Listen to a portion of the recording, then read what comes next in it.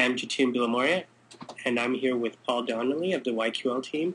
We're going to take a look at the new YQL console. Uh, Paul, can you tell us a little bit more about some of the changes you've made to the YQL box? It seems like uh, the REST query box has changed.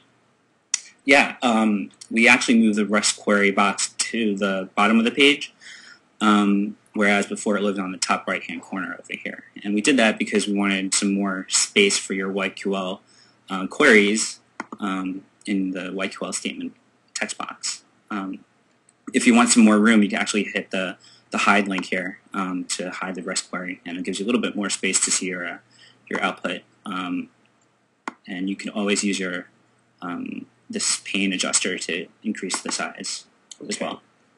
Cool. Uh, I also noticed that we have this new option called query aliases. Can you explain what query aliases are? Sure. Um, first, let's let's go over to the query alias drop-down box, and you actually need to be signed in to to use this feature. So let's go ahead and uh, sign in.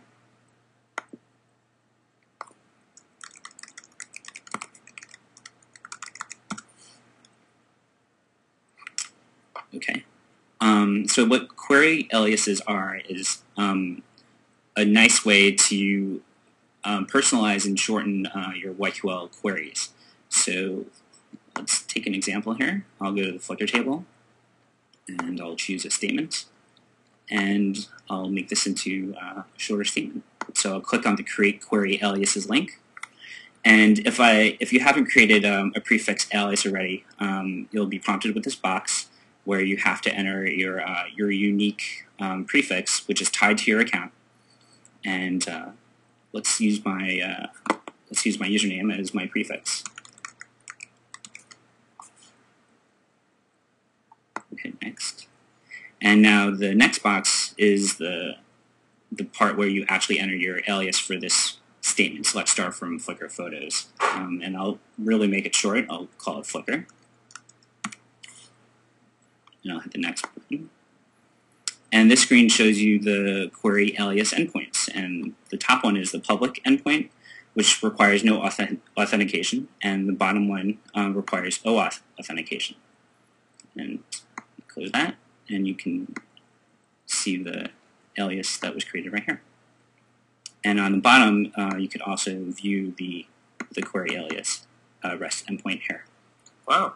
Okay. Um, how about inserting parameters? How, how do you pass parameters through with query aliases?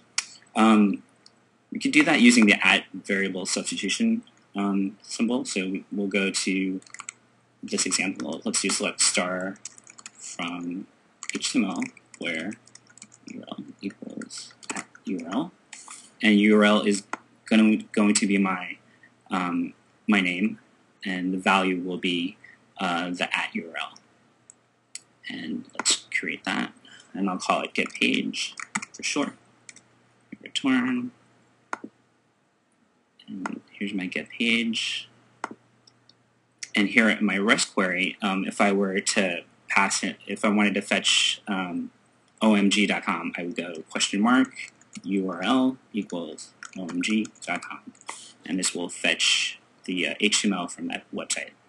Wow, that's, that's really cool. Um, it seems like you can really shorten your REST queries now with this new query alias feature. Thanks a lot, Paul, for showing us some of these features, and we hope all of you get a chance to try them out at developer.yahoo.com slash YQL.